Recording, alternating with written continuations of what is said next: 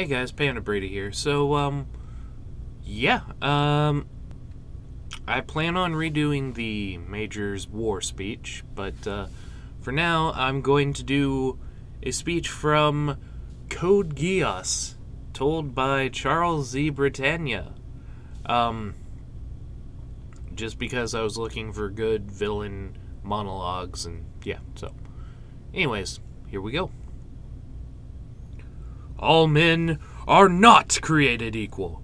Some are born smarter, or more beautiful, or with parents of greater status. Some, by contrast, are born weak of body or mind, or with few, if any, talents. All men are different. Yes, the very existence of man is discriminatory. That's why there is war, violence, and unrest. Inequality is not evil. Equality is. What becomes of the EU, who claim that all are equal?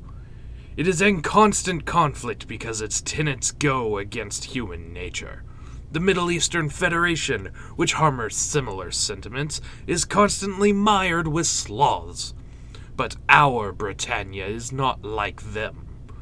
We put an end to wars and evolve with every conquest. Britannia alone looks forward and moves forward to a better future. The death of my son Clovis is yet more proof that our empire is evolving.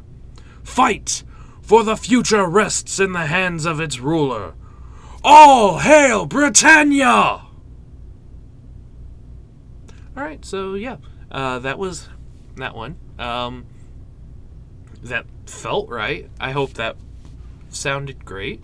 Uh, sounded good, came across well. Um, tell me what you think. Don't forget to uh, like and share if you enjoyed. Subscribe to become part of the Panda Party, because there ain't nobody like a Panda Party, because Panda Party don't stop. How fast can I do my outro? I don't know. Um, and I will see you guys in the next video. Later.